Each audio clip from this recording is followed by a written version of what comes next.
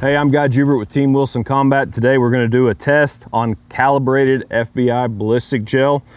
What we're gonna be testing is the 90 grain Xtreme Defense fluid transfer monolithic bullet from Lehigh Defense with the flutes and one that we machined without the flutes. So basically what we're going to do is show you how important these flutes are on this projectile.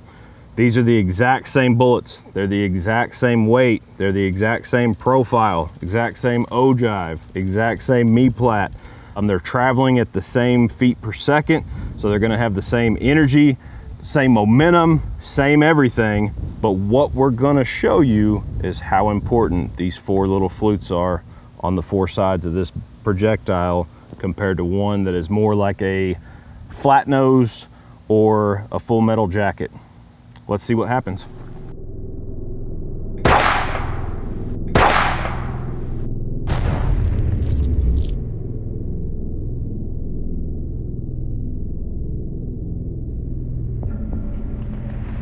And now we're going to demonstrate what happens in the calibrated FBI gelatin blocks with the non-fluted version of the 90 grain Xtreme Defense projectile from Lehigh Defense. Let's give her a whirl and see what happens.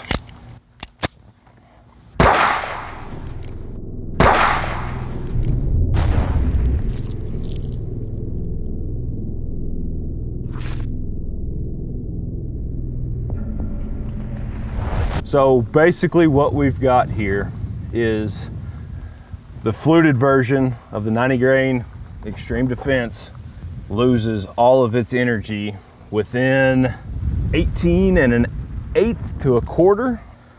So basically 40 inches of gel, 20 inch blocks, flutes dump all of its energy in 18 inches and retains within the gel block. No flutes travels 40 inches of gel block, exits, hits the, the bank over here, and actually, I think we even got a ricochet. So it's still moving with that much velocity to ricochet off the rocks on the bank, where the flutes dump everything, slow down, and retain within the gel block. This is crazy impressive.